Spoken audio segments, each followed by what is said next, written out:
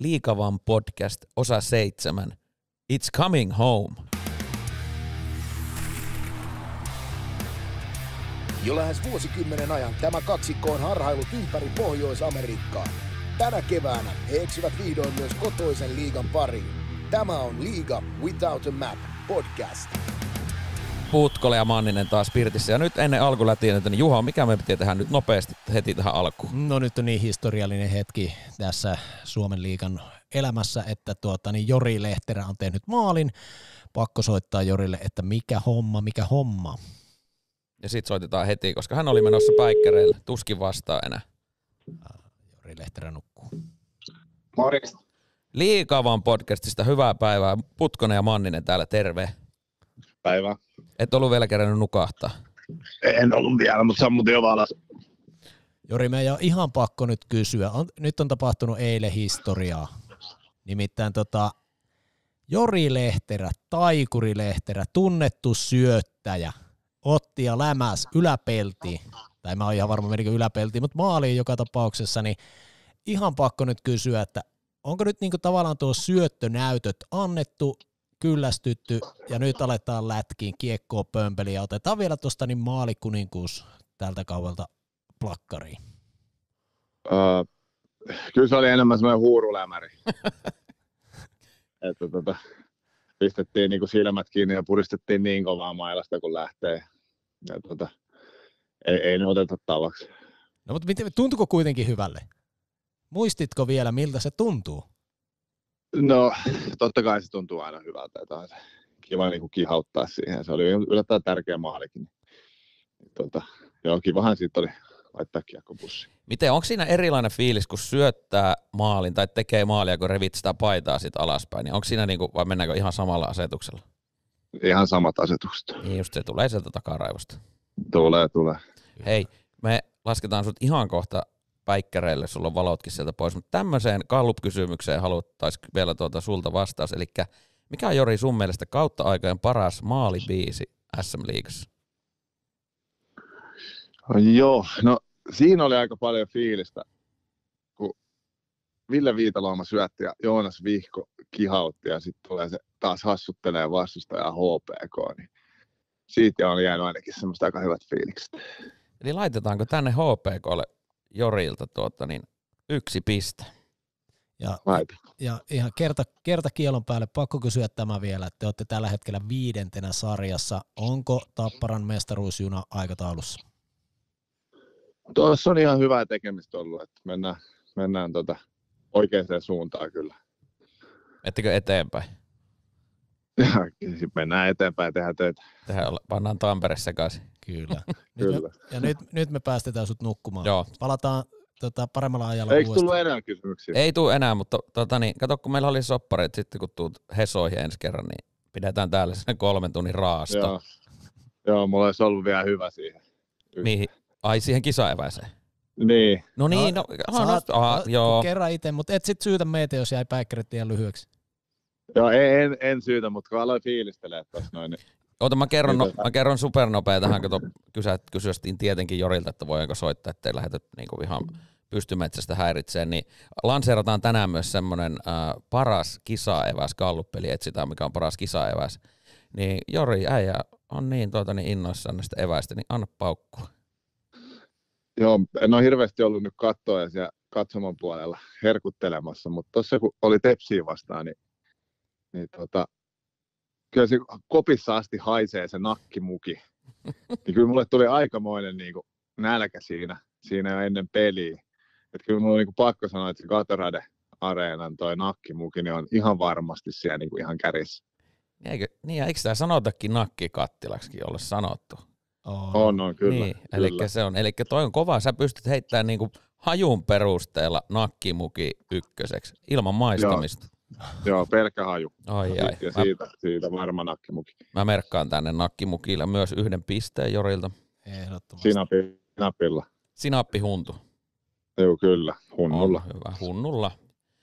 Hei, nyt me lasketaan se, sinut tuota, niin, päikkäreille ja teillä on pelejä tulossa tuossa, niin tsemppiä laukaukseen ja katsotaan, jos vaikka, tiedä vaikka syötät, pääset tuohon syöttelymakuun taas Joo, takaisin. katsotaan. Hienoa. Katsotaan, toivotaan. Hyvä. Yes. Kiitos, Jori. Kiitos. Heippa. Morjens, moi. Moi. Semmonen. Se oli historian nopein puhelu kellekään ikinä koska, mutta kato, tämmöistä on ohjelma, että me voidaan soittaa ja sitten jättää paljon asioita seuraavaan kertaan. Kyllä, ja Jorille, Jorille on tosiaan jo sovittu semmoinen, niin kuin sanoin tuossa, niin laajahko raasto haastattelu, No kun näin. saapuu tänne Helsinkiin meidän paikan päälle meidän studioon. Mutta hei Juha Alko Lätinoista, mitä ei mene? Ootko ollut missään tuota niin reissussa tässä taas, kun nyt päästiin tänne äänittelemään? No itse asiassa on viettänyt aika paljon aikaa nyt Nordiksella. Nimittäin Oho. tota, niin, no Pietarinkadun Oilersin jäät aina maanantaisin. Joo. Siellä on ollut. Onko Ja- kulkenut? Joo, Nikke Beckströmille tehnyt kaksi maalia, terveisiä Nikelle, sitä ärsyttää varmaan ihan helvetisti, että tämmöiset amatöörit, jotka sattuu jossain höntsäpeleissä kauhealla mähällä tekee maalin, niin sitten leuhottaa niillä täällä, täällä mutta tota, niin, niin, niin tämmöistä tämä on tämä elämä meillä. Joo, ei mitään, mutta siis kävin myöskin katsomassa. Juhani aivasti, mutta ei kuulunut. Ehkä Ah, ah, siis mikrofoni hienosti mulla on- väistit. Yritin väistää, mulla on se joku krooninen yskä päällä, mutta niin, mitä, kävitkö kattoo SM Lee, kävit Nordiksella, niin, kyllä. siis te ootte, Kävin- totta, oot viettänyt kävin katsomossa ja jäällä aikaa. Niin, siis Mm. oli, eli Pohjoisen ylpeys Oulun kärpät, perjantai-ilta. No kerropa miltä se, matsi, miltä se tunnusti. Niin tuota, ei, nyt, nyt mun on pakko, mä en viitin valehella tässä, niin ihan pakko sanoa, että oli kyllä kieltämättä noin niinku tommoseksi peliksi, että tulee kuitenkin yksi niinku, ihan tälleen ilman mitään värilaseja, niin kuitenkin Hifki on aika tämmönen niinku iso brändi liigassa, kärpät edelleen aika vahva brändi liigassa, vaikka molemmat vähän kontannut, niin Mm? jäi se peli. Ei siinäkään mitään, että peli päättyi 2-1 jatkoajalla kärpille, mutta ei jotenkin, tiedätkö, mä niin oma silmääni, tietenkään tilastoissa tämä ei nyt varmaan ihan näin ole, mutta yksi taklaus, minkä mä näin, Marko Anttila vähän kävi taklaan, niin mä olisin oottanut niin kuin semmoista enemmän intensiteettiä siitä pelistä ja, ja totta kai niin kuin näistä maalimääristä nyt on paljon ollut, niin sillä perjantai-kierroksellahan muissa peleissä, että jos nyt puolustetaan tätä, kun jotkut sanoo, että liikassa ei tule maaleja, niin oli 6-2, 6-2 ja 5-1 ne pelit. Et itse satuin nyt olemaan siinä pelissä, missä ei oikein tapahtunut mitään, mutta se oli kyllä se oli vähän harmillinen peli, että siinä niinku ei ollut intensiteettiä, saatana. Ja minä olin muuten itse asiassa tässä 6-2 pelissä, kun mainitsit tuosta noita tuloksia. Niin Mm, Mä olin mm. taas kerran Jyväskylässä, Hippoksella oltiin kuule katsomassa Jyp, Jukurit kamppailua ja no edellisen kerran Jukurit otti sieltä hyvän ryöstön, mutta tällä kertaa niin kyllä jäätiin ihan jalkoihin. Että kyllä niin hurrikaani jyräs traktorin lailla ja kolme pistettä sitten siitä kotiin. Ja hienosti täytyy sanoa tässä ää, podcastissakin olen ennen maininnut ä, Samuel Salonen, niin kyllä leipäni, leipä paino 1 plus 3 siihen ja oli kyllä niin kuin sanotaan, että oli illan ihan selkeä ykköstähti. No, Voidaan varmasti puhua semmoista niin sanotusta ketsupipulon aukaisemisesta, kun ensimmäinen maali kautta ja heti terähtää kolme syöttöä kylkeen. Neljän pisteen Joo. perjantai-iltaa vietti Ah, jätkä. Predu, se Predu on kova jätkä. Se Joo. on siellä on varmaan kettusta kuunneltu tuota, niin pukukopissa, ainakin kuulokkeissa on aika varma ennen peliä. Mutta semmoista joo, mutta ihan ok, ei sielläkään mikään niinku, sanotaan, että niinku tunnelmaltaan mikään älytön niinku meininki ollut, mutta ihan niinku viihdyttävä peli, että ainakin yleisö ja kotiyleisö varmasti tykkäsi, että itse en niin paljon tykännyt, kun olisin toivonut tietenkin, että olisi vaikka Jukurit voittanut, mutta kiva, kun siellä kaverit sai onnistumisia ja, ja onhan se niinku silti aina kiva katsoa paikan päällä tota urheilua. On, on, on. Menkää ihmiset kattoon paikan päälle. Kyllä siellä tunnelmaa kuitenkin oli, vaikka peli olikin vähän semmoinen tahmea. Kyllä. Ja ihan pakko vielä tähän alkulätinään mainita, kun mainitsin tuossa jakson nimessä, että It's Coming Home, niin ootko kattonut yhtä, että onko se jalkapallo nyt tulossa kotiin? Siis mun on pakko sanoa, että mä en ole kattonut yhtä ainutta peliä. Tämä ei, tämä ei liity mihinkään, vaikka olisi hienoa poikotoida noita kisoja, koska paljon vääryyttä liittyy noihin, mutta siis ei, ei ohu edes siitä. Mutta mä en ole vaan niinku, niinku ehtinyt vielä. Jotenkin ollut niin helvetisti taas töitä. Kyllä, no mutta se on rehellistä, mutta ootte säkin sitä mieltä, että vaikka et ole sekuntiakaan kattonut kisoja, että It's Coming Home. Oo, no totta kai. Mahtavaa, Ihan vaan tämän mahtavaa. meidän niinku yhteisen tämmöisen, että saadaan piettyä tämä synergia ja tämmöinen hyvä henki päällä, niin, niin totta, totta kai se on tulossa kotiin. Ihanaa. Oh, no, no, no. Mutta hei, meillä oli nyt tässä jaksossa tämmöinen aivan äärimmäisen tärkeä aihe, johon tuossa jo vähän sivuttiin Jorin Mhm, kanssa. mhm. Eli metsästetään, tehdään nyt se tutkimustyö, tämmöinen äärimmäisen tarkka tutkimustyö tuolla meidän Instagramissa olikin tuota niin, kysymys, johon ihmiset saivat sitten laittaa kommentteja, että missä hallissa ja mikä, mikä? on se annos, on se kaikkien aikojen legendaarisin paras ja ihanin suussa sulava ja sellaisen tunteen suuhun tuova, joka niin kuin pistää sen, että tämä kuuluu tänne, tämä on saatava. Tämä kuuluu aina. tänne suuhun. Niin. Ja onko, onko... niin, että aina kun sä meet halliin, niin mm. tämä on niinku saatava. Niin tänne tuli aika paljon kommentteja. Tuli, siis ja onko, niinku, onko ja semmoinen niinku olisi aika kova, että mikä niinku jopa saa lähtemään sinne hallille enemmän kuin se peli. Sä ootat enemmän ehkä sitä, joku oli laittanut hyvin mun mielestä lihapirkka kahdella sormella, niin enemmän sitä kuin jopa peliä. Jos sattuu vähän huono peliä, tiedätkö, on tulossa se eka, eka erätauko siihen, niin ai jumaleissa mä saan kohta käytyä pärämätsi sieltä tai kebabmukin tai hotsin tai pötsi tai slötsin, niin, niin moni voi mennä myös tällä niin kuin hallille. Kyllä, kyllä. Mutta siis mä oon kyllä yllättynyt siitä, niin kuin mitä toi Jorikin tuossa nosti jo esille, että tänne tuli aika paljon tota nakkimuki. Niin kuin, että pelkkiä nakkeja sinapilla, tai mit, mitä siihen nyt haluaakaan ikinä ottaa, mutta siis se, että – Mä yritän etsiä nyt sitä meidän, missä se on se? Siellä me... Ei kun sehän pitää mennä tonne... Mikä siellä alkoi soimaan? Ar... Siis toi Smurfit. Smurfit, papinpatu. No siis kato, kun mä lasten Smurfit. kanssa kuuntelen noita aina autossa, kun ne haluaa kuunnella noita Smurfilauluja. Smurfit lähti soimaan. Patin papukaija. joo, joo, joo. Kato, kun siis mä laitoin tänään meidän yhden yhteistyökumppanin mainoksen meidän Instagramia, ja mä en muistanut, että tää on jo täällä arkistoissa tämä, niin mä lähdin katsoa, että se on vielä meidän fiidissä. Mutta tällä hetkellä, jos joku haluaa, itse asiassa ei uh, ehkä kuulu, niin Papin papukaa ja smurfeilta voi käydä... Se on, se on patin. Patin papukaa. Eli pattismurfi on Tot. se ilikkailija, siis tää tämmönen lihaskimppu. Joo, mä luulin, että se on papi, olisi voinut olla. Joo, Onko siellä mä... pappismurfi? Ei, ei ole sitä muuten, mutta pattismurfi. Mä itse nimittäin kuuntelin sitä pitkään. Tämähän oli niinku... Onko se niinku ilikka? On, ja siis mulla kesti tosi kauan tajuta se, että mitä se sanoo, kun mä kans kuulin, mm. että papin tai katin, että ei saatana, mm. että ei tuo kyllä kuulosta tuolta, mutta sitten mä tajusin, että on pattismurfi ja se on sen patin papukaija. Mutta tota, siis mua hämmensi tuossa äsken, koska tuostahan kuulu ihan todella pieni hetki vain. Niin, ja sä sait siitä kiinni. Niin, ja mä ajattelin, että voiko Juhanin puhelimessa, että mitä helvettiä, että onko mä tullut hulluksi, niin että voiko sun puhelimessa, sit muistin ton teidän yhteistyö Ville Beno ja Smurfi, Smurfi juu. kyllä. Pikku mainos nyt tästä Ville Beinolle tuli, mutta joo. Mutta mun mielestä tehdään, tehdäänkö tämä... Karvas ää, aika kauas tää, karvas. tästä nakkimukista. Ja karvas. Jotkuthan voi olla karvaitakin. Jotkut sehän voisi olla muuten nyt sit, kun toi oli tuo lihapiirakka kahdella sormella, niin sehän voisi ollakin sormimuki.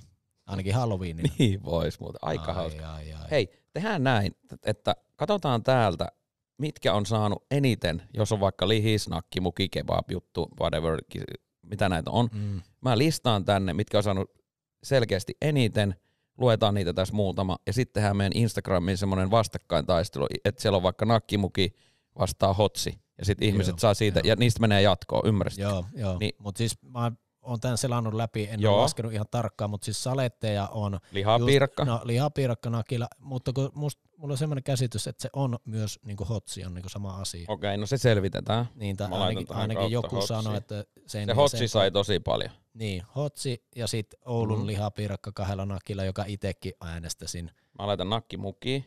Täällä ja on lihapiirakka nakilla, sit, nakeilla. Sitten on tämä kuuluisa Lahden lihamuki on kädessä. Se, joo. Mutta sitten me nostetaan täältä niinku muutamia tämmöisiä, jotka on niinku ollut, ollut todella kovia, kovia nostoja täällä. Niin.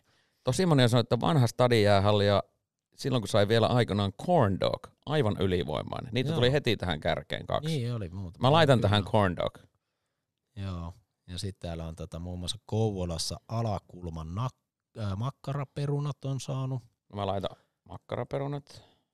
Ja sitten tota, joo siis lihapiirakkaa, mm. niin, eli vety tai lihapiirakka nakeilla. Niin vetyhän on saanut kans, mutta oliks, mitäs vetyssä oli? Mun mielestä toi hotsi on eri kuin lihis. Ei kun, no kun vety on ehkä lihis. Eikö, kyllä Ei vety, vety on lihis, mutta se, että mitä siellä on sisässä, kun siellä... Niin, totta. Ja sitten tota... On tosi moni on sanonut, että Lappeenrannan kisapuisto vetyy. Niin, vetyy kaikilla mausteilla sekä savukinkulla. Mutta sitten Nordiksen nakkimukikin on saanut. lihamuki.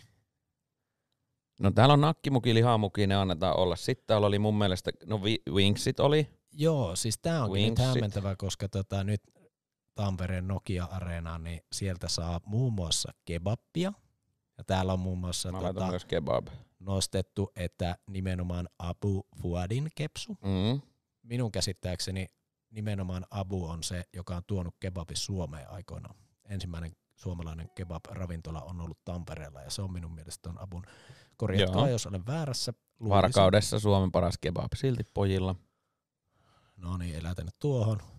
Mutta sitten tuota, niin, täällä muun muassa haukiputtaa jäähallilla tatsa, kaakao ja kirpeitä remmiä. Ihan huikea. Siis, mä, kova. siis tolle, annetaan, tolle annetaan siis erikoismaininta. Ei laiteta ehkä tuohon äänestykseen, mutta siis Ei. aivan klassikko No, no, no, kaakao no. ja kirpeitä remmejä. Ja toinen tämmöinen erikoishyvä on, niin, niin, niin tota, kupittaan jäähallin sinappi. Ihanan vetistä ja jäätävän hyvää. Joo, Ihan käsite, voi ottaa mihin vaan annokseen. kovaa, kovaa. Kova, että niinku pelkkä sinappi sai. Ja ihana vetistä vielä. Tuo on niinku jännä, tuota, olisi mielenkiintoinen nähdä ja kokea. Hotsi on saanut kyllä paljon täällä, mäkin rullaan näitä läpi, ja, katsotaan ve- ja vielä muutama. vety, vety, saa ja niinku yleensäkin, mutta siis melkein jo pelkästään tässä voi sanoa, että li, niinku se, se klassikkoruoka, niin siinä on lihis mukana. Kyllä. Mikä sulle on niinku? No Kyllä se? siis Oulussa, täällä itse asiassa tota, kaveri laittokin tänne, tänne että niinku Oulun jäähallin niinku lihis, joka jää siihen paperiin kiinni ja on keskeltä vähän kylmä ja se pitää olla kahdella nakilla, niin tuli itsellä mä örähi ääneen, että totta, että se muuten aina, ainakin aikoinaan, kun itse siellä paljon kävin, niin se jäi aina siihen paperiin kiinni, se höyrystetty lihapiirakka. Kyllä. Ja sitten se oli Vähän viile, joo niin, se haale. oli harmi, kyllä. Se niin. oli monesti, kun varsinkin jos menit toisella erätaululla, kun niitä oli mennyt niin helvetisti, niin sitten se saattoi olla, kun niitä oli joutunut sinne lisäämään, niin ei ollut ihan kerennyt lämmetä, niin pikkasen haalee sieltä keskeltä. Se vähän harmitti, mutta se ei harmittanut, että se jäi siihen paperin kiinni. Se oli hauska. Mun pitää, Hauska antaa, muisto, mun pitää muisto. antaa täältä erikoismaininta akusoppa, varkaus, kisagrillin, broiler, herkku, lisää kebabilla, ei salaattia, talon valkosipulimajo. On kova, vaikka toi ei niinku hallissa olekaan, mutta toi siinä varkauden tota, niin jalkapallo stadionin vieressä, niin siitä Aksa varmaan käy hakee sitten kisagrilliltä ton annoksia, kävelee kattoo vaikka VJK jalkapallopeli. Kyllä. Mutta siis tässä on itse asiassa vähän harhautu tuo just, että kun sanoi, että sieltä Nokia-arenalta saa nykyään tosiaan saa kebappia ja vingsejä. Ja sitten niin kuin esimerkiksi tuosta tuossa meidän naapurissa olevalta nykyään tyhjillään olevasta hallista, niin saa justiin, niin että siellä on Hesburger siellä sisällä ja näin, niin itselle jotenkin se hallieväs ei ole niin, kuin niin, niin tota, siis silleen, että mä haluan, että se on nimenomaan se joku lihis. Mä oon ihan täysin samaa mieltä, Mut koska sä voit mennä siis- Heseen niin. tai niinku ihan milloin vaan. Mutta se on jännä, että sitten kun meillä on tuolla nhl ja näin, niin siellä sitten se ei ole niinku, että en mä siellä NHL-hallissa haluaisi lihistä. Joo, mutta Se se, on ei, jännä mut, homma, niin on, toi, toi on muuten totta, toi on muuten totta. Ja tämä on varmaan vähän tämmöinen sukupolvikysymys, että tota, ootas, mikä, en mä näe sinne asti. En mä näe sinne. Saa luessa se sitten No, siitä. ei kun kato toi, toi tota niin, no tää on Putkola kirjoittanut tämmöisen, että tämä on mun mielestä niinku ihan ylivoimainen. Tässä on, että rehellinen kisamakkara VP35 pelissä 30 asteen pakkasella reilulla sinapilla Aa, se, Niin. joo, sori, en mä nähnyt sitä. on, siis voin sanoa, että se muuten sitten käyttelee. No aivan varmasti. Tiedätkö siis semmonen niinku kunnon vanha grillattu makkara, ei höyrystetty grillillä, aivan saatanan kylmä. Ja sitten kuuma mehu, mä en mahtunut kirjoittaa tähän vielä, että kuuma mehu siihen viereen. Sin- ja iso sinappi. Ei missään nimessä ketsuppia ja sinappia. Ne ihmiset, ketkä laittaa grillimakkaraan ketsuppia ja sinappia, niin niille on paikka jossain ja se ei ole todellakaan mukava se paikka, koska ne ihmiset ei on ne on, ne, ne, ne, ne ei ole yläkerrassa, ne on niin alakerrassa ja ne on niin, siis mä en oikeasti edes, mulle tulee fyysisesti jo paha olo, kun mietin, että söisin grillimakkara, missä on ketsuppia, sinappia, tai pelkkä ketsuppi grillimakkara, se on niinku vielä pahempi. Siis se, Se- on, se- pystytkö syömään? Et varmasti siis pysty. Se on Hyi. sillä tavalla, että niinku lapset syö sillä. Niin, Ja sit kun sä oot aikuinen, niin sä syöt ket- minä en oo, ketsuppi vaihtuu sinapiksi. ei, mutta mä siis, Eikö joo. niin? Voi, lapset syö minä sinappi. tiedän, No et sä, kellä- et, et sä minä on lapsia, nähnyt, jotka va- minä on nähnyt aikuisia ihmisiä, ketkä syö ketsupilla grillimakkaran. Ja on siinä vaiheessa ollut, että en halua olla tässä seurueessa. Onko melkein jopa mustalle listalle? Siis Siis onko? Jos tää olisi nyt Putkosen musta On. lista, niin siinä Si- olisi semmoiset ihmiset, jotka vetää ketsuppia makkaran kanssa, niin, niin tota, No, mitenhän muuten Rane Rantanen Ket... Meidän muuten pitää kysyä Rane Ranelta. Rantanen mahdollisesti meidän eh, seuraavassa podcastissa vieraana, jos Mhm. saadaan, koska me seuraava podcasti nauhoitetaan tuolta Amerikan puolelta, niin tota, kysytään, että meneekö makkaran kanssa ketsuppia, koska sitten joutuu blacklistille. Siis mä kyllä pystyn sen syömään, mutta en mä koskaan laita, jos ei ole pakko. Mutta siis pystyisin, ei, kyllä se alas menisi. Kyllä se a- alas menisi, mutta en niinku, mä menin jo ihan sanattomaksi. Mä menisin tukehtuakin tuossa, kun rupesin miettimään jos se makkara, niin jos siihen on sinappia ja, tai sinapin lisäksi niin kuin vaikka kurkkusalattia tai sipulia tarjolla, niin otatko vai meneekö pelkällä sina, No jo, ehkä niinku pelkällä. Sitten jos tehdään just monissa noissahan nykyään se, että jos käyt vaikka lihikseen ja sitten sä itse voit tunata siihen, niin kyllä mä niihin laitan aina noin kurkkusalaatit ja Mm, jos on sipulit ja pahdetut sipulit. Mutta kyllä mun mielestä niin, tota, rehellinen, otin nyt itse asiassa Jypin pelissä, laitoin kuvankin siitä Twitteriin, niin Mm, mm. makkara, reilu sinappi ja lähdevesi 3,50. Mun mielestä erittäin tota, niinku, hyvä hinta. 3,50 euro senttiä. Joo. Lähdevesi ja olisi voinut toi- sanoa, että halpa. Niin, siis jep. Kysyin vielä siltä myyjältä, että oliko näppäilyvirhe, tuliko hinnassa. Kyllä. Sanoi, että ei tullut. Hei, mennäänkö eteenpäin? Mennään, Meillä olisi vieras, olisi nimittäin valmiina. Eli nyt tehdään tässä ohjelmaosiossa sillä tavalla, että öö, me tehdään NHL Vamin Instagramiin näistä kaikista suosituimmista kisaeväistä niin semmoinen öö, tota, niin playoff puu ja siellä pääsee taistelemaan sitten kisaeväät kesken. Eikö niin? Joo. Paina joo, tuota joo, nappia ja soitetaan Joo. seuraavalle vieraalle. Kyllä. Tuli vähän nälkä. Niin tuli, niin tuli, niin tuli. Joo, ja sitten tota, mä en muista, joku juttu tuosta nyt jäi käymättä läpi, mutta semmoista tää se No sä näytit vähän siltä, että sä olit jotenkin omissa mä olin etsimässä vielä jotain, että mihin mun piti puuttua, mutta no en puuttunut Mut jos se tulee tämän, tämän aikana, mutta soitetaan nytten mediakentän moniottelijalle. Käykö tämmönen asia? No ei, yritin hämätä olemalla vaan hiljaa. niin mutta hyvin siis olit. Siis hyvin, hyvin olit. Mä ajattelin, että sä oot silleen, että ei välttämättä soitetakaan. mutta tämmönen hahmo kuin Ville Eerikkilä Soitetaan Viki. Vikille. vaikuttaa Yle Xllä, ja tässä oli tämmönen, kun tota, Köpi Kallio oli Kimanttia podcastissa vieraana, niin otetaan nyt Vissy sitten meille Niin vieraaksi. matkitaan. Niin, Tää matkiminen kuuluu tähän päivään. Matkitaan, ihan matkitaan. Ja jos se käy tuommoisessa marginaalipodcasteissa köpi, niin otetaan sitten kato vissy tänne oikealle estradille. Just näin, just näin. mutta tiedätkö mikä on tässä on hienoa? No, Niin kuin näin katso, siis sä tiedät totta kai, mutta niin kuin kuulijat, kuulijat, ei katsojat, vaan kuulijat. Mm.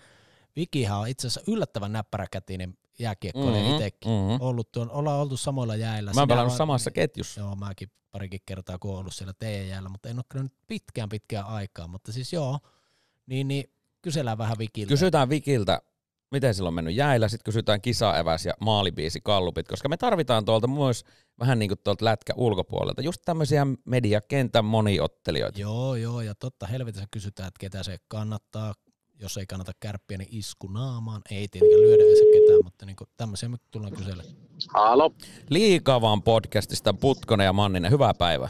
No hyvää päivää. Onko hyvää. Eerikkilän Vilho siellä? Eerikkilä, Eerikkilä puhelimessa. Hei, ihan kärkeen, mun mun piti esitellä sut, mutta mä en muista, mikä se sun, kun mä oon Kampin Kamenski, niin sä olit Kemin Ei kun Merilapin Messier, Merilapin Messierhän se olikin.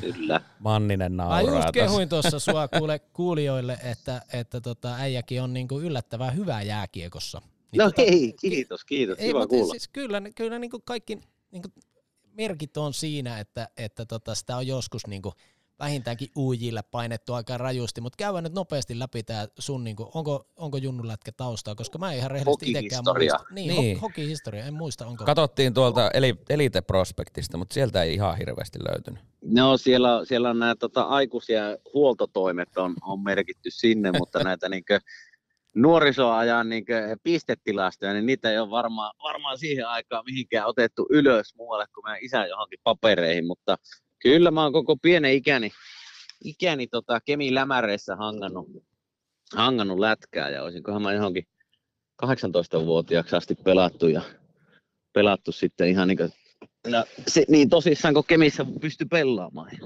Kyllä. Oli, Sieltä sitten tota, olitko se junnuissa kuitenkin niin elämäni parhaat kaudet, että silloin mä sain lisää nimen Teho. niin, niin kuin sitä mä olin just kysymässä, että olitko, olitko tota, niin sanottu ykköstykki teidän jengissä?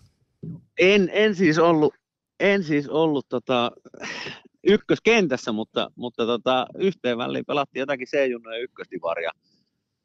Oliko se joku Fatser-liiga vai mikähän se oli silloin back in the days, niin siinä tuli kyllä yhdellä kaudella, niin varmaan ihan kaikki yllätty, että kuinka paljon tein, tein tököjä silloin alkukaudesta, että siihen liittyy siis semmoinen, semmoinen tarina, että mä tein niin hemmetisti pisteitä, ja, ja tämä on ihan totta, mä tein ihan hemmetisti pisteitä, ja tota, sitten tuli, oli tota, joku alue, alueleiri tai Pohjolan leiri tai joku tällainen, ja sitten tota, Pohjois-Suomen se aluekoutsi Lapa, niin oli tullut Kemmi Timitekille sitten katsoa, että kuka vittu tää on tää Eerikillä, että on ikinä kuultukaan ja pisteitä tulee vaan ja näin edespäin. Sitten se tuli Timitekille ja meillä oli sellainen reenit menossa, niin mä coachi Raikka oli sitten sanonut sille, että me oltiin jotakin ympyröitä luisteltu, että todennäköisesti se kaatuu tuossa ensimmäisenä, että siitä sä sen tunnistat ja meikä kahden sekunnin päästä perseillä jäällä ja ei tullut kutsua joukkueeseen. Se oli, se oli dramaattinen kaatuminen. Mutta oliko... siis suolasko tämä coachi sut niinku, että oliko, oliko nyt näin, että se tavallaan vähän niinku manassut, että tosta ei no, se olisi varmaan ollut, että kun olisi yhden kaarrelustelun pysynyt pystyssä, niin olisi voinut, voinut olla, että soitteli sitten jonnekin päin Amerikkaa tällä hetkellä. Ei Hei, miten, miten tuolta kaudelta, pakko kysyä, kun sanoit, että tehoja tuli tosi paljon, niin oliko siellä joku muu, joka piti kirjaa näistä tehoista vai – vai oliko käytössä tämä meidän maanantai jäältä tuttu, sanotaan, että sullakin ihan pikkusen on värikynä niissä omissa tehoissa, niin oliko, laskettiinko siellä joku muu tehot vai merkka, merkkautitko itse niin pöytäkirjaa aina ottelun kyllä se varmaan jälkeen? Oli, kyllä se varmaan oli rakas isäni Juli, joka, joka siihen aikaan löi johonkin ruutuvihkoon poikansa teho. Koska se, sähän oot siitä vähän niin kuin kuuluisa, että tuossa niin kuin meidänkin jäillä noita tehoja, niin niitä vähän korotetaan aina välillä. No vähän joo, vähän joo. Pitää se olla, mutta siis omat personal best maanantai jäältä niin 6 plus 6. Se on semmoinen, että siihen ei ole moni pystynyt. No, tää, tässä oli just tulossa tähän, että toi Petopodista tuttu Ahmiskin, niin kyllä se, senkin 5 plus 6, niin mä, nehän on tota koomamiehen toimiston seinällä ne tehot, niin siellä on Andrei Aihio syöttäjänä ja tämmöisiä. Että, mutta hei, että siitä mut, voi ihan päätellä, mut että täytyy sanoa, että mä olin niillä jäillä. Mä, mä, ainakin puol, mä puolet on ainakin syöttänyt näistä kuudesta vikimaalista. Joo, ja varmaan niin puolet on tehnytkin sitten Ki- niin, niin, tyhjiä sinne takatolpille. Me monet jäät, mm. tai yleensäkin vedettiinkin samassa ketjussa. Nyt tosiaan ollut vähän loogissa. Molemmat itse Sama. asiassa. Sama, kyllä, kyllä. Kyllä tässä manaillaan näitä loukkaantumisia. No, no, no. no. Semmoinen vielä pitää kysyä nyt, kun tota, no niin. tosiaan Kemistä – Kemistä ponnistanut maailmalle ja nykyisin tietenkin täällä PK-seudulla pyörit niin kuin kaikki me media-alan moniottelijat, niin tota, onko kuitenkin Oulun kärppäsydän vai mihin, mihin tota liikajengiin menee, menee vikiin niin kuin sympatiat? No siis ei, ei ole kärpäsydän, ei ole kärpäsydän meikä. No niin, me lopetetaan yes. tämä puhelu tästä nyt sitten. Jatketaan me sitten sitä jukurifiilistelyä vaikka kahdesta. Mä en jotenkin ikinä päässyt siihen puolen Suomen jengiin messiin, että No toisaalta että, en tiedä, en tiedä. kemiläisiä, niin se... Niin, niin ja Kemissä vihataan oululaisia. Mä, mä en oikein tiedä mistä syystä. Siis mulla ei oikein ole semmoista lempi, lempi tota, liikajoukkuetta. Kiekko Espoo oli joskus penikkana. No pari voi mutta, päästä tota, sitten taas. Niin, mutta ei, ei ole. Mä ehkä symppaan tällä hetkellä Turun palloseuraa ja, ja Ilvestä. Mm. Jotenkin, jotenkin ne on tässä viime vuosina tullut itselle sille, että no, niitä voisi vähän sympata. Joo, Ai kyllä saan kiinni, kyllä saan kiinni. Sit, kato mäkin kun nykyään itsekin asun Espoossa, niin pitää, mä alan itse valmistaa tuohon, että mä oon kohta ihan täysiä kiekko Espoon miehiä. No niin, kyllä. Niin, Mulla sä... löytyy joku vanha kiekko Espoon viiri tuolta jostain, niin saat sen sitten Ai seinälle lyö. Aika kova. Hei, noista tota niin, liikajoukkoista sen verran. Me, meillä on tässä Liikavan podcastissa menossa tämmöinen galluppi. Me, me metsästetään kaikkien aikojen parasta maalilaulua, niin mikä, mikä sulla on semmoinen tota, biisi, mikä on jäänyt mieleen noista liiga, liikajoukkoista? Liikajoukkueesta. No voit, Ai, sanoa, mä... siis voit sanoa myös jonkun, jos sulla sieltä heittää joku. Mut... Mä tota, aikoinaan kuitenkin opiskeluaikoina, niin silloin kun toimin myös Kemin lämäreiden huoltajana, niin toimin myös otteluiden kuuluttajana. Ja, Joo.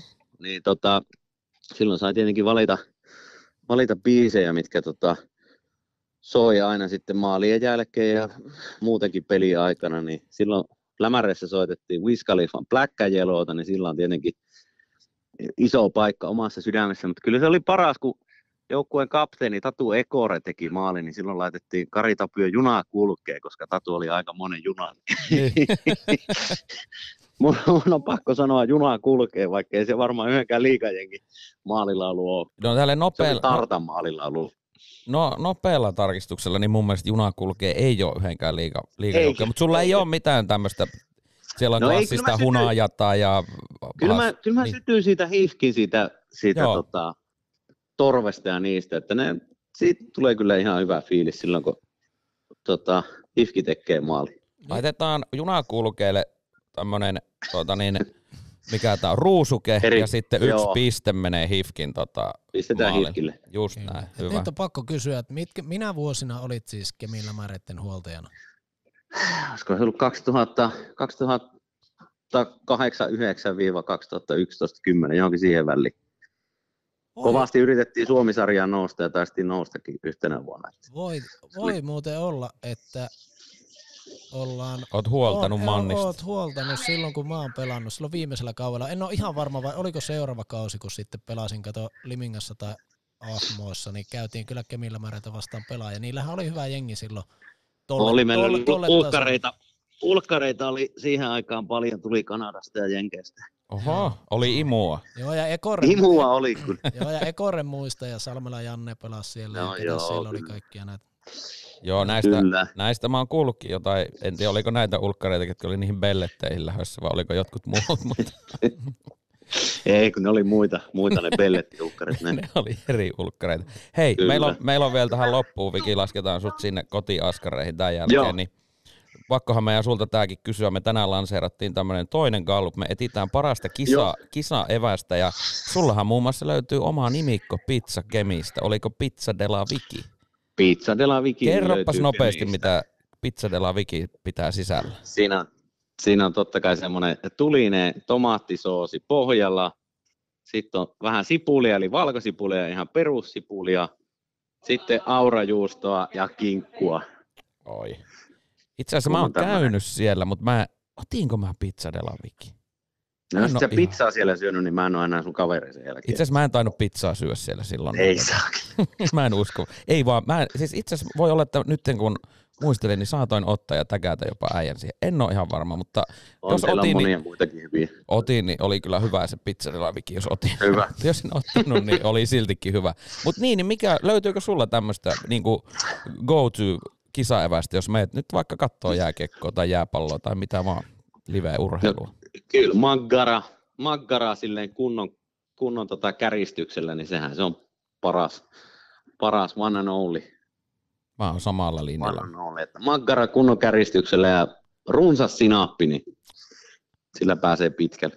My words exactly. Mä lisäsin tuohon vielä, että VP35 jääpallopelissä miinus 30 astetta ja No Tota joo, niin. kuulostaa aika hyvältä. lämmin mehu ja kärähtänyt makkara reilulla sinapilla, niin ei ole parempaa Ei. kisaa evästä. Mm, mutta Just näin, ja sitten Seukki erätauolle, niin Juho tietää, niin pahavi kahavi. Oi, oi, oi, ryystöllä, ryystöllä. Ryystellä, ryystellä, joo, just näin. Mutta tuota, niin Jori Lehterän paras hallieväs on tota, nakkimukin haju. Se ei ole kato päässyt, niin, Oh, ei ole päässyt kokeilemaan muita, kun on aina vaan ollut pelaamassa. erittäin kova. Hei, kiitetäänkö me vissyä? Noniin. Kiitet. Ja tää oli, tää oli tästä mielestä hienoa, koska sun taistelupari Köpi oli tuommoisessa marginaalipodcastissa kimanttia vieraana, niin nyt me saatiin sut tänne sitten, että se niinku Kyllä, kyllä. oikeaan podcastiin puhumaan oikeista asioista, eli kisaevästä ja Ja maalibiisistä. valehelluista tehoista. tehoista. Hei, Just. just näin. Just näin. Ei mitään. Hei, kuule, laitahan itses kuntoon, niin nähdään taas padel ja jääkiekko kentillä. Tehdään näin. Hyvä. Hyvä. Kiitos Vissu. Kiitos. Heippa, Moi. moi. Sinne meni afropää. No niin, kiitti. Kiitti. Ei mennyt vielä. Hyvä. No niin, Ei. moi. Hyvä. Nyt meni, pane usta. Tiedätkö, mulla on vielä tässä, kato, kun menee niin tohon juttelumoodiin. Niin. mä en ikinä muista painaa tätä puhelua poikki. Aivan, aivan. Ja nyt kun Vissuka ei painanut, niin se jäi linjalle. Oli muuten tosi lähellä, että en kerro tätä ja pystyin tuon puheluajan olemaan kertomatta, mutta mulla on hyvä muisto, kun käytiin Kemillä Märeitä vastaan pelaamassa Limingan kiekkokarhuilla silloin, niin tota, hävittiin ottelu 8-2 vai 9-2 jopa. Joo, Niin itellä 2 plus 0 ja plus 2 tehot. joo. Niin tuota, tuommoinen muisto. Eli oli pakko, mä huomaan, kun mä meinasin olla kertomatta tuon, eli niin keulia omilla tehoilla, ja nuo löytyy itse asiassa ihan kuule tilastokeskuksesta, että tuota niin, tommonen, Tilastokeskus. eli Finhogin tilastoista jostain. Siis kato, ei pysty olla tuomatta esiin omia, omia tehoja. Mutta mä tiedän ton. Se on silleen, että niinku, se on, että et älä sano, ei tota tarvi sanoa. tarvi, ei tiedätkö? tuolla- Sitten ei sä ei sen tarvi aina. Tota, niin. Mutta sitten oli vaan pakko Niin, tuoda. niin. Mutta se oli silleen hyvä, koska 9-2 tosiaan hävittiin. niin, eli Ja- pystyy ja olemaan sit- tyytyväinen. Pystyi. Niin kuin pelasit. Oma peli meni kaksi plussalle ja pari, Syytittekö, pari pyyriä. syytittekö maalivahtia häviöstä? No ei mä, silloin mä en ollut vielä keksinyt sitä sanontaa, että joukkoina voitetaan ja maalivahtia syytetään, jos No, mutta jos kahdeksan menee omiin, niin ei se, no sanotaan, että, sanotaan, että viisikko pelihan siinä on kussu ihan täysin, mutta Joo, ei se joo. ole maalivahdillakaan tarttu. Joo, joo, joo. Ja siis tuo on nyt sattuma, en itsekään todellakaan ollut siihenkään sarjaan mikään kovin ylivoimainen pelaaja, mutta siinä pelissä sattui onnistua.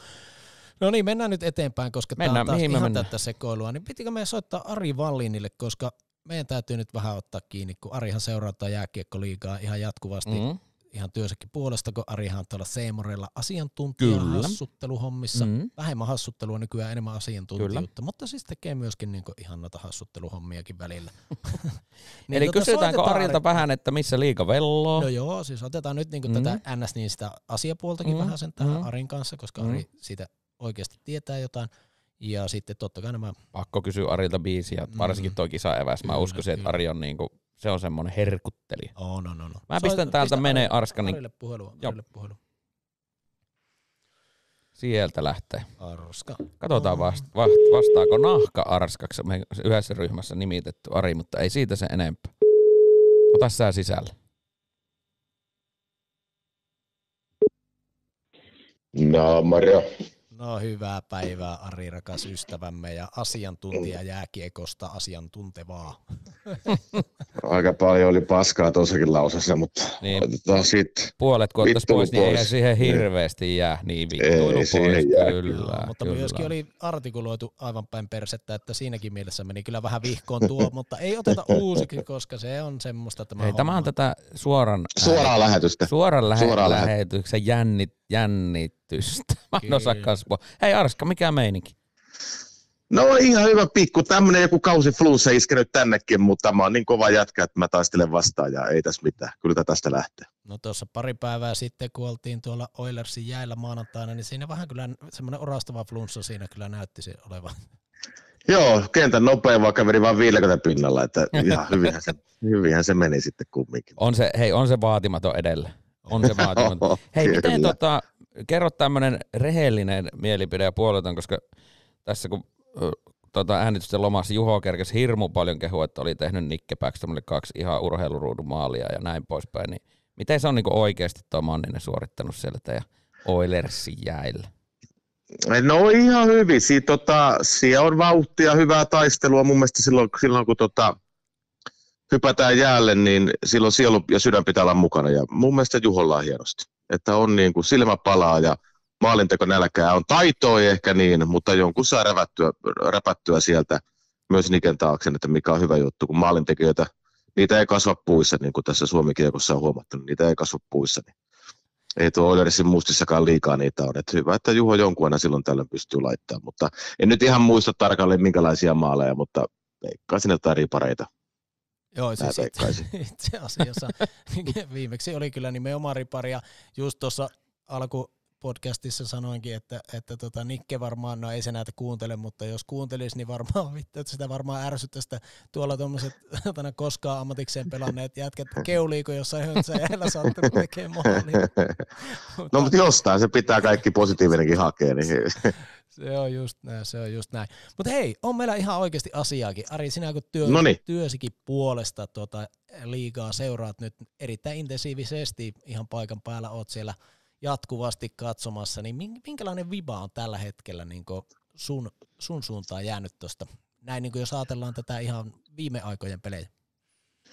No kyllä, hyvä vipa. Se alkaa mun mielestä vähän niin kuin sillain tasottuun siellä, kun S nousee, Jypin peli näyttää tulevan aika, mm. aika hyvin sieltä kanssa löytyy, ja sitten nämä kovat, ketkä siellä kärjessä on ollut, IFK on vähän löytänyt peliä, mutta sitten nämä kovat, mitkä siellä kärjessä kukaan on ollutkin, niin tota, kyllä siellä ihan niin kuin tota, tasainen meininki on, että aina kun tuohon, onneksi niitä mitään veikkaajamiehiä on, niin häviä rahoja sinne, mutta tosi vaikea, niin kun peliäkin lähtee tuonne johonkin tekemään, niin ennen peliä sanoo, että kuinka se nyt käy, että tota, kyllä siellä niin kuin kaikilla on jokaisessa pelissä mahkut on, että sinänsä tasasta liikaa, niin kiva ollut katsoa. Kyllä vauhtia on, kyllä pojat on kehittynyt luistelussa. Kyllä, ja mun on pakko nostaa tuosta Ilves esille, että veti marraskuun sitten, tuota, niin ei, ei tappion tappio, että oli kyllä niin kuin kova, kova rani, että siinä vähän yskähteli moottori, kun vaihtui, vaihtui valmentaja, mutta nyt rupesi taas löytyä. Joo, ja se oli ihan ymmärrettävää, että pikkusen menee siinä alkushokissa varmasti menee, että tota, ei ihan jatku samalla lailla, mutta tota, nyt se näyttää aika hyvältä ja kovia lukuja löytyy tauluun, että kyllä jos Ilves tuolla jatkaa pikkusen vielä ehkä tota Pendoa ja, ja koko joukkueita tuntien, niin varmaan kevääseen vielä niin kuin paukkuja jotain löytyy, että saisi sen kruunun tolleen vähän niin kuin tuolle, sanotaan nyt pitkälle hyvälle työlle, mitä Ilveksessä on tehty, niin tuolle tota, koko yhteisölle, niin saisi jonkun palkinnonkin. Mutta senhän meille aika näyttää, niin kuin sanotaan yleensä urheilun lähetyksessä. No miten sitten me ennen kauan alkua oikeastaan me ja kaikki, varsinkin kaikki NS-oikeat asiantuntijat veikkasivat, että se on tappara ja kärpät, jotka on niin kuin paperilla aivan ylivoimaisia, niin tota, molemmat vähän tuolla, niin kuin, kyllähän ne tuolla porskuttaa kuven joukossa molemmat, mutta ehkä vähän varsinkin kärpillä ollut sitä, että ei maaleja meinaa oikein tulla ja näin, niin miten nämä kaksi joukkuetta? No joo, sieltä täällä muutama peli tässä vaiheessa, kun tätä nyt tässä tehdään, niin Tapparalla muutama peli sen siirton takia Naftalinissa, niin tota, kyllä, tota, kyllä mä edelleen Tapparaa ja Kärppiin sillä luotan, että kun heidän pelaajamateriaalia katsoo ja kumminkin valmennuksen kokemusta, niin, niin tota, se on aina tuommoinen, varsinkin tapparaa, kärppiä, IFKta vastaan, miksei Ilvestäkin tepsiä vastaan, mutta aina kun heitä vastaan siinä ehkä pienemmät seurat sitten pelaa, niin siellä lyödään kyllä kaikki likoon, että nämä niin sanotut isot joukkueet voitettaisiin. Siinä joutuu kyllä aina niin kuin olen joka päivä tiistaina myös Lappeenrannassa kaivaa niin kuin sieltä kypärän välistä kaikki tahdon pelit pystyy voittamaan, niin kuin sanoin, tasaisia joukkueita kumminkin on paljon liikassa, niin sinne ei voi niin kuin yhtään löysää lähteä, niin kyllä se välillä ymmärtää, että sinne jokunen ohipelikin tulee, kun se on aina pienemmille seuroille iso juttu, kun tulee isot käymään, niin tota, se löydään kaikki likoon, niin kyllä tota, ehkä tuommoisia ohipelejä niillekin joskus suvaitaan, mutta kyllä mä silti vielä luulen, että tuossa mitä nimiä nyt heittelit ja tuossa mitä mäkin tuossa sanoin, niin varmaan sieltä kumminkin ehkä se mestaruus tai sanotaan finalista ja tulee. Että, et tota. Mutta tietenkin kiva, jos joku yllättäisi. No kyllä, kyllä. Sitten vielä tämmöinen yksi pelillinen kysymys, niin kuka, nosta yksi pelaaja, joka nousee ai, nyt ai, ensimmäisenä ai. mieleen, ei, ei tarvi olla välttämättä, että on ollut niin paras, mutta semmoinen, mm. joka pelaaja on niin jäänyt sulle tänä syksynä parhaiten mieleen liikakaukalosta? Aika helppo. Aika helppo. ei se, niin kuin sanoit, ei tähän oikeita vastaus, mutta heitä joka, joku, joka, joku tuli nyt mieleen. Että ket... Joku, kuka tuli mieleen. Heitä Juho nyt tähän, kuka sulle tulee mieleen? No, siis minä heitän niin. joku. Niin. Mäkin heitän. No, tää on vähän sillä tympiä, mutta mulla tuli ekana Jerry Turkulainen mieleen, mutta siis tietenkin helppo, kun pistepörssin kärki ainakin mm. oli tuossa vielä hetki sitten, nyt en ihan äsken tarkastanut, onko vielä, mutta siis ollut kyllä positiivinen ja oli myös hyvä maajoukkueessa tuossa. Kyllä. No mä voisin sanoa tota, JMA, eli Juha-Matti Aaltonen, kapteeniksi, kapteeniksi nousi ja sitten kun tuossa Jukureiden peliä kattonut, niin tota, miten kokonaisvaltaisesti Juhis tekee hommia siellä, niin kun näyttää esimerkkiä, mikä välttämättä josta ihan Juhiksen DNAta, niin tuommoinen sanotaan kiva muuttujaleikki oli ja varmaan oli sen tahallaan siellä, tämä valmennus porras teki tahallaan, että Juhiksesta kapteeni, niin saa näyttää esimerkkiä jäällä, niin kyllä tota, hienosti on vetänyt. Se nyt ehkä tuommoinen vähän multakin helppo tuommoinen, mikä tuli tuossa mieleen, mutta että siellä oli kyllä niin kuin tota, vielä oltiin jotain matsia siinä laukaudesta kattoon herra päävalmentaja Jukka Jalosen kanssa, niin tota, Siinä kun hänkin pisti merkille, että pitääkö se perhana Juhis vielä kysellä maajoukkueeseen. Katsotaan. Miten käy? Kovaa. Itseään, mana, itseään povasin täällä ennen kautta, kun tehtiin tämmöistä ennakkoa, että sanoin ihan suoraan, tietenkin toivon Juhikselle loistavaa koko kautta, mutta manasin vähän sitä, että, että saa nähdä, onko siitä vetään näinä marraskuun synkkinä iltoinakin esimerkillisesti ja, ja että kausi on pitkä, mutta tota, kyllä se ihan hyvin on kairannut. Joo, kyllä se ehkä pikkusen välillä näkyy tässä viimeisessä peleissä, että ehkä jossain kohtaa selkä vähän nousee pystyyn, mutta tota, kyllä se edelleen siellä niin kuin hommia painaa ja on kyllä siinä YVllä semmoinen primusmoottori, joka jakelee sitten hyviä paikkoja sinne nuorillekin kovi, kovaa laukaville kavereille, niin, tota, niin huhtasille ja kumppaneille. Että, tota, että kyllä siellä ihan niin kuin Juiksella silmä palaa edelleen. On, ja sitten kun miettii, että CHL kahdeksan, kahdeksan sakkiin tonne lähtee johdattaa sitten, että tosta jos vielä, vielä kairaa eteenpäin, niin on kyllä niin kuin kova juttu, että sehän on Jukureilta, Jukureilta ja Juhikselta hieno, hieno tota, saavutus jo tähän mennessä. On, ja mä en oikein tiedä, tajuaakohan nyt mikkeliläiset fanit siellä, että, tota, että tämmöinen on tapahtunut, että onko sitä nyt hehkuttu tarpeeksi tai luettu mistään tai kahvilan pöydissä Mikkelin torilla sitten niin puhuttu asiasta, mutta se on erittäin... mieltä. Jep. Ja niin, Tuo on kova saavutus, niin kuin oikeasti. On. Mut nyt, kun, On. Nyt, nyt kun Jukureihin mentiin, niin tota, Jukurit on kuitenkin tuossa liigassa siellä 13. Niin uskooko Ari Vallin, että Jukurit nousee vielä playoff-junaan mukaan? No kyllähän se vähän sinne ehkä jormakkaa vaatisi, että tota, sinne tulee vähän leveyttä sinne hyökkäykseen kumminkaan. Siellä on eri- erittäin hyvin, kun nuoret jätkät, mitkä tuossa on tullut, niin on, on pelannut, mutta tota, kyllä sinne tarvitaan myös kokemusta. Niin, öö, kyllä mä luulen, että se Jukurit vie. Niiden peli on kumminkin on ihan hyvän näköistä ja, ja tota, niilläkin ehkä pikkusen semmoisia orastavia maalinteko-ongelmia ollut, niin mä luulen, että se Jore voisi olla siihen niin kuin vastaus sitten, mutta että Kyllä mä uskon, niillä on kumminkin hyvä joukkue ja paljon se ulkomaalaisia on, mutta näyttää, että oikeisiin rooleihin hankittu. Että, että, että, kyllä mä uskon vielä, että sieltä, sieltä sarvipäät tulee. Minä uskon kanssa, että heimo päällikkö nostattaa sieltä, sieltä meidät vielä tai heidät playoff-junaan mukaan. Ei tässä olla vielä heitetty kirvestä kaivoon. No ei, mutta ei kysellä enää noin pahoja, niin kuin toi pelaajahomma oli tuossa ihan ilman, niin kuin, se tuli ihan spontaanisti mulla mieleen. Saanko mä vastata? Ari, Saanko mä, vastata? Se mä en vastaan. Saat. Minä Mutta vastaan. mä nyt py- pyydän tälle ihan oikeasti anteeksi, että kun en yhtään tota, niin valmistanut sua, niin pahaan paikkaan heti, mutta hyvin selvisi. Joo, ja kun en tiedä yhtään pelaajan nimeä, niin vaikea sitten kaveri sanoa. Siis, Just näin, just näin. siis mun mielestä oli ihan hyvä kyssäri. Mä, minä, Oli, mutta se vastaan, tuli spontaanisti. minä vastaan Vastaan spontaanisti Petri Kontiala. Viimeistä kautta vetää hienosti. Taitaa olla pistepörssin 12 tällä hetkellä. Oli meillä vieraanakin Vetää viimeksi. niin kuin viimeistä päivää. No se vetää, se on joka peli. Vai vetääkö? Hmm, ei vaan, kyllä niin. Kyllä No, se katsotaan. taitaa, kyllä se. Se ainakin meille pannotti kovasti, että kyllä hän on päätöksen tehnyt. Hei, Okei, okay, no niin. mennäänpä näihin vähän oikeasti asioihin, mitkä merkitsee Ari. Eli meillä on pari tämmöistä eri galluppia ja säkin oot Okei. noin kaikki, kaikki hallit tuota, niin, kiertänyt läpi ja siellä Pelannut kaikissa joukkueissa. pelannut kaikissa joukkueissa. Niin, kyllä. Ja varmasti oot varmaan joka joukkueen äh, tuota, niin, paidassa tehnyt myös maalin. Ja silloin, kun- Enemmän ehkä kuunnellut jäällä, sekin kun kaverit on tehnyt. varmasti, tai katsellut. olet varmasti kuullut erittäin läheltä useamman kerran jokaisen joukkueen tämän maalibiisin, niin mikä on sun mielestä, niin kuin millä joukkueella on liigan paras maalibiisi? Ja Kai- kautta Ka- aikoja. Niin, kautta aikoja. Kautta aikoja. Kyllähän nämä vaikeita nyt varmaan ne joku suuttuu ja joku närkästyy ja sitten joku iloittaa, kun näitä sanoo, mutta tota, Mutta nämä on kyllähän se- kohta. Ei, Niin, ei, on tämä on nyt. No silloin sanotaan näin, kun äh, siinä 8-9-vuotiaana meillä oli kotona semmoinen tiiliseinä ja mulla oli toisessa kädessä tennispallo ja toisessa kädessä oli lippalakki, kun räpylää vielä on omistanut, niin tota, Mm. heittelin siihen tiiliseinään ja räpylällä, eli lippalakilla nappailin palloja kiinni aika reippaasti molarina siinä. Ja aina kun pallo meni mun selän taakse, niin pisti Life is Lifein soimaan. Niin tota, kyllähän se varmaan sillain on tota, piirtynyt tonne sillain sieluun se biisi.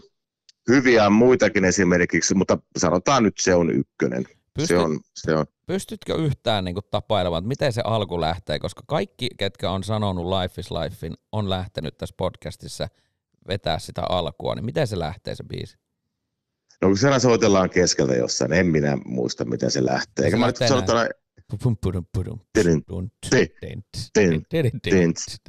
Just noin. Tints, tints, Laitetaan, tints, tints, joo. joo. Joo, Eli me on. laitetaan Life is Lifeille yksi piste tänne lisää. Ja Pistä yksi pisti, mutta annetaan kunnia mainintoja muutama Joo. kumminkin.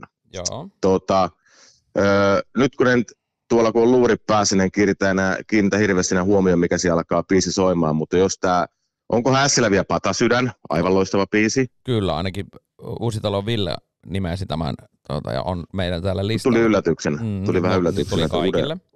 Joo. Se on erittäin hyvä. Kärpinen ei taida enää olla se, mutta oli se Hermes House Bandin se, niin tota, se I Will Survive. Se oli mun mielestä kova versio siitä. Joo. Se oli hyvä. KKllakin on ihan, ihan hyvä, mikä täällä KKlla nykyään on. Ja sitten Mitä tuo on Ilveksen, sinne, jo, kyllä mä sen, jos katson mikä mä nimeä en muista, mutta sitten Joo. myös tämä tota, uh, Hands up, baby, hands up, heart. Gimme, gimme Mm. Niin tota, se Ilveksen, se vanhan liiton, niin sitä muistan kyllä Hakametsässä Ilveksen peleissä myös käydä, niin kuunnelin silloin 80-90-luvulla. Niin tota, Niin toi on ollut Ipalla. 80-luvulla. Niin, Joo, ja se soi, nyt Ipahan käyttää aika montaa, Ipa käyttää aika montaa. Siellä tulee Kingsia välillä, tulee tätä hands upia ja okei. tulee siellä vielä jotain muutakin. Joo, mä ja Jantta nimittäin sanottiin se We Are the Kings, se on kova. Mä Se on hieno siitä. biisi kanssa, se on hieno biisi Se on hieno kanssa. biisi. Itsellähän nousi tuo hunajetta, hunajetta, hunajetta mun. Tuota, mutta joo, hei, No mä, kun siinä mä sanon siitä sen verran, että kun oot ollut siellä 90-luvulla Turkuhallissa, Siinä mankelissa. siinä mankelissa sen, että te ei pääse kertaakaan sinisen ylittä ja aina tuo hunajata ja oot siellä vaihtoehto, jos sä yrität mennä sinne vaihtopenkin alle piiloon, ettei se ole kukaan näe, niin siinä vaiheessa se hunajata alkaa tulemaan korvissa. Että. mutta, tota, mutta joo, hieno biisi, hieno biisi. Kyllä. Tota, hei, mutta mä jäin tohon kiinni, että kun sä tosiaan heittelit siihen, itsekin on lippalakkia käyttänyt räpylänä ja näin, mutta siis siihen, että kun sä heittelit sitä seinää, niin oliko sä niinku tavallaan ää, niinku itse se vetäjä siinä ja maalivahti, kun sä niinku laitoit sen maalipiisin? Vai yritikö niin, että kun mä että yritikö sä niinku tavallaan Y- yritin aina, Oliko yr- joku mentaalinen treeni, että, että ei, kun silloin ei ollut, tota, ei ollut, ei ollut peikkareita eikä ollut, eikä mulla ollut kavereitakaan, niin mä heittelin seinään palle. Kova. Silloin ei ollut oikein mitään, oli pallo ja Se- lippis Niin, pallo ja lippis ja, löytyi. ja toi Tota, tiiliseinä. Mutta ei sä mut muuta la- tarvi. Ei. lapsena, on, lapsena löytyy luovuutta itse. On ja mielikuvitusta. Just. Silloinhan, Joo. silloinhan pihapeleissä Kyllä, niin oltiin Kretskistä Messieriin ja kaikki siitä väliltä. Kyllä. Hei, viimeinen kysymys, ja tämä on pakko kysyä sulta, koska tiedän, että olet ö, suuri kulinaristi ja herkkuttelija ja hyvän ruoan ystävä, niin mikä on semmoinen, Arska, sun ö, niin paras kisa, Vinksit. kisaeväs? Vinksit. Vinksit. Vinksit. Vinksit. Ei uskos. Vinksit on. Tuli aika nopea. Mut, niin. mutta tietenkään kaikista halleista, eihän sitä Mhm. ne ei saa. Mm-hmm. Niin tota, joskus Hakametsän hallissa Tappara Junnuilla oltiin, niin meillähän totta kai vanhemmat pitiksi jotain kioskia silloin, koska piti tämmöistä talkoo, talkoo hommaa, niin oli semmoinen corn dogi. Joo, Sillä oli jotain niinku, joo. siellä oli niinku nakki sisällä ja sitten oli semmoinen jotain maissia siinä Maissi, maissikuorta. kyllä, kyllä. Se, niin on, Niin. niin. niin kuin maissi, koira on se. Joo, mikä se nyt oli sitten. Niitä se kato, kun jäi sinne vähän, ettei kaikkea myyty saa ottaa mukaan, niin meillä oli niitä pakkasessa jonkun verran, niin niitä tuli kyllä. Niitä mä en tiedä, saako niitä enää oikein mistään, mutta se on jäänyt mieleen niin tuommoista halliruuasta siinä tota, pikkupoikana, kun niitä vedettyä. Niin. Joo, koska noita tuli tuohon meidän Instagram, me laitettiin Instagraminkin kysely, niin siellä muutama laittaa, Aa. että corn dog, Joo. että ei saa enää, että ennen muinoin Okei. corn dog ja oliko Stadin halli vai mikä olikaan. Niin. No ainakin Hakamettässäkin oli, Joo, oli niitä. joo. Niin, tota, joo, niin tota, se oli, se oli mutta kyllähän nykyään alkaa, kun alkaa tulee uusia halleja ja erinäköisiä ravintoloita sinne hallin, hallin sisään, niin kyllähän siellä kun vinksipari joku löytyy, niin kyllähän sinne niin kuin Vanha mestari Hiivitään. löytää sieltä. Joo, ja nyt kun mulla tota, meillä alkaa tuossa, joulutauko alkaa henkilökohtaisesti minulla 16 12 tappara kärpät pelin jälkeen vedetään studio, niin ajattelin siitä jäädä heti Tampereelle vähän pikkujoulua Ylärvietken kanssa viettää ja menen sitten suoraan hallin siipiravintolaan ja syömään siivet, jos se vaan on auki. Jos ne kuuntelee, niin pitäkää se auki, niin mä tuon ainakin pelin jälkeen. Ja syömään. eiköhän ne sulle sen aukase, jos se ei ole No, auki. Kyllä ne se tulisi. Kuusi mestarut, hei. Oliko seitsemän? Niin, ihmeessä. Öö, No kuusi Suomessa, mutta Kuusi. ihme, että Mä lasken ne muutkin. ulkomailla. Okei, okay. Seitsemän ainakin. ainakin seitsemän. Ainakin Hei. seitsemän. Me lasketaan Ari sut viettämään torstai-iltaa tästä. Oikein kiva. Siellä alkaa jalkapallia taas kohta, niin mä menen vähän zoomaille. Pakko muuten kysyä, is it coming home? Öö, no nyt kun katsonut pelejä, niin probably not, Ah, mutta tota, hopefully mutta yes. tota, niin hope- hopefully yes, onhan kiva se Englanti joskus sen voittaisi, mutta enten ihan materiaali, kun katsoo, on katsonut Ranskaa ja on katsonut Brasseja ja Argentiinakin parantaa aika reippaasti koko ajan, niin kyllä pitää onnistua lädiä hyvin, jos meinaa voittaa, mutta eh, toi voi elää. Mä, en mä ihan, niin kuin, ihan tota, sulje pois, mutta kovin pitää onnistua. Kyllä, se on just näin. Itse toivon, niin kuin tiedät erittäin isosti, että se jalkapallo huomannut, löytäisi joo. sinne Brittien saarille takaisin, minne se kuuluukin. Ja hyvältä näyttää. Kyllä mulla on, hyvä, mulla on erittäin hyvä fiilis tuosta meidän tämän vuoden MM-joukkueesta. No niin, katsotaan miten käy. Mm, just näin. No älä mitään. Ihan tota niin, nähdään taas joku kerta tässä. No niin, kiitos, että soititte ja Iso kiitos. minun päivääni. Hei, iso kiitos Arska jälleen kerran ja paranehan sieltä pienestä miesflunssasta ja ollaan taas yhteyksissä. Ollaan päädessä. Kiitos, kiitos. Hei, hei, hei, hei. Nyt minä osasin tämän puhelunkin katkaista. Ja sinä olet siihen, siinä heilunut siihen malliin kuin heinämies, että ilmeisesti sulla on uh, limusiini pihassa. Ruvetaanko mm. laittamaan uh, rekkiä pois päältä? Kyllä se täällä haavaa nyt on nimittäin sen verran on tässä jauhettu, että 56 minuuttia täynnä, niin pistetään kuule pillit pussiin ja jatketaan Amerikan maalta tehtyä podcastia sitten teille seuraavan kerran kahden viikon päästä tulee. Kyllä. Ja silloin meillä on toivottavasti vieraana joku suomalainen NHL-jääkiekkoilija ja puhutaan silloinkin luonnollisesti liigan aiheista. Ihan pikkusen kysytään myös NHLstä. Niin ja ruuista. Niin, ja jalkapallo MM-kisoista. Ja lempibiisistä. Niin, ja pizzasta. Mutta oli muuten, tuli mieleen, että aika yllättävää, niin ei hirmu moni ollut sanonut pizzaa tuohon, ei tyyliin kukaan. Ei niin. Ja, Mutta se ei kuulu sinne ei niin, mutta NHLssä kaikki Vetää ostetaan niitä pizzaa. pizza. Niin, Tästä tultiin taas siihen, mihin, missä äsken tultiin siihen, että, että Hesburgeri Suomen hallissa ei välttämättä hyvä, mutta NHLssä normi. Mm-hmm. Mm. Hesburger ei ole NHL-hallissa. No. Ei, ei, mutta siis Hesburger täällä ja no se sait joo, sekin. joo, mä sain kiinni. Hei, Pistä outro ja- katsojat, kuuntelijat, Ajat. nyt mennään. Mutta Kiitoksia jälleen kerran. kiitos Oli ja sitten niin football's coming home, it's coming home. Tekeekö Jori Lehterä vielä yhtään maalia tällä kaudella? Ihan varmasti tekee. Tekee se, on yl, se tekee ylivoimalla väkisin. Se, se siitä leipoo syöttö. Vahingossa yrittää syöttää kova syöttö vastustajan luistimen kautta maaliin ja siitä tulee Jori seuraava maali. Kova syöttö maali eteen vastustajan luistimesta. Merkataan Jorille. It's coming home. Kiitos.